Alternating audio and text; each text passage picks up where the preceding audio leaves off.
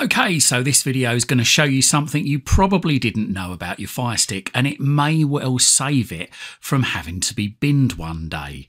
All the details coming up shortly. Don't forget to like this video, share it and subscribe to my channel. Doing these three things help us make more great videos for you. So as I say, this video is going to show you something you probably didn't know about your Fire Stick and it could save it from having to be binned one day because by not following these instructions, then you could end up corrupting or damaging permanently your Fire Stick or even your Fire TV Cube too. This could apply to that too.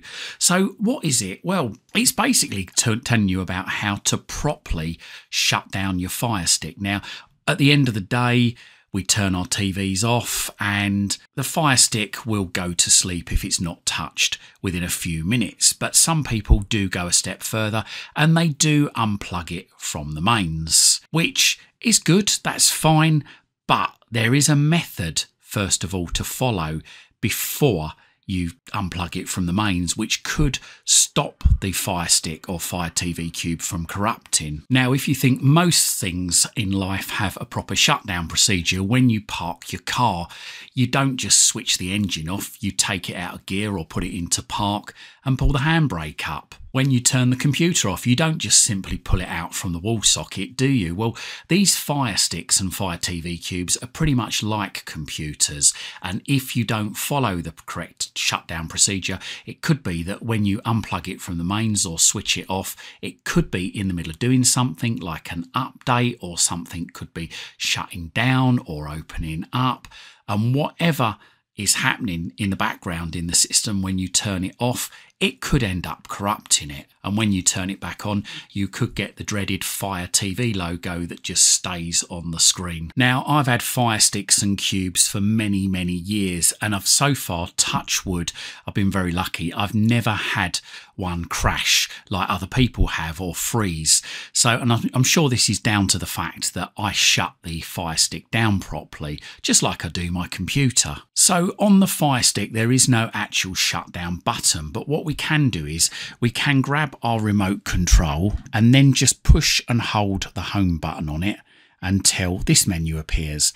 Then go across to sleep, press the middle button, and then once the Fire Stick has gone to sleep, give it about five seconds, and then we can unplug it from the mains. Either from there, or if we want to, we can unplug it from here.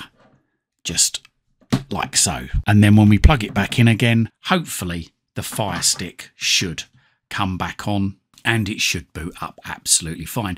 Now, the reason I said earlier to give it five seconds before you unplug it from the main. So because the screen goes off pretty quick, it might just be doing a few little extra sort of tidy up bits in the background. So just give it five seconds, just like you would a laptop really when you close the lid down perhaps and you give it a few seconds to wait for the, the fans to spin down, all the lights to go off before you actually unplug it from the mains. As I say, these Fire Sticks and Cubes are computers in themselves. They've got a system, an operating system in the background, and if the power is cut to them at a time when they're doing something in the background, then the system can get corrupted. So there you go. I would say it's worth perhaps doing this about once a week because this also gives your Fire Stick or Cube a bit of a clean up, a bit of a reboot. Or if you don't want to do that and you want to leave it plugged in all the time, then the other thing to do is just to give it a bit of a clean up is just to go across to the settings cog, middle button, and then go down to My Fire TV, middle button, and then go down to restart middle button and then go across to that restart there, middle button, and do that, you know, once a week. Don't do it any more regular than that. It really doesn't need it. Just once a week will be fine. So there you go. I hope you like this video. And if you did, then please hit that thanks button if it's helped you, and also have a look in the description down below. If you're considering buying a new Fire Stick or Fire Stick accessories, or even subscribing to a VPN, please consider using the links down below as they really do help support this channel. It helps me to dedicate more time into researching and bringing you these videos. And don't forget, whilst you're at my YouTube channel, why not have a look around? I've got thousands of other videos right here, right now for you covering all sorts of subjects. Hopefully, whilst you're here, you're going to find something to educate you, entertain you, amuse you, and maybe even save you some time and money.